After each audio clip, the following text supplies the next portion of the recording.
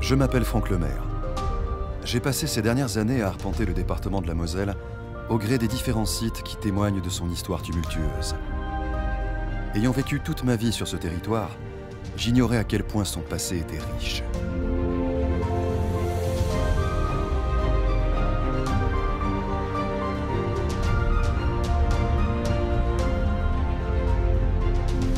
Bien sûr, mes différents travaux m'avaient appris les événements passionnants liés aux guerres depuis la fin du 19e siècle. J'avais compris que les richesses des sous-sols de Moselle avaient maintes fois été convoitées par le passé. Mais si je connaissais l'histoire des mines de charbon et de fer, je n'imaginais pas qu'une autre ressource inestimable avait fait la fortune de plusieurs civilisations avant la nôtre, le sel.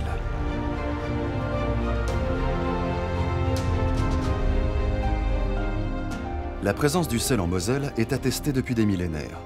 Son extraction est à l'origine d'une richesse inépuisable pour une zone géographique très précise, le Saulnois. Les paysages de ce territoire sont marqués par le temps. Ils trahissent encore la présence des mares salées qui ont donné son nom à Marsal. Le sel représente aujourd'hui une denrée si quotidienne qu'on ne le voit même plus. Pourtant, nos ancêtres y voyaient un enjeu considérable. Je voudrais vous faire partager le voyage dans le temps que m'a offert Marsal et vous raconter la merveilleuse histoire du sel. De la préhistoire à nos jours, je vous invite à découvrir l'épopée de l'or blanc.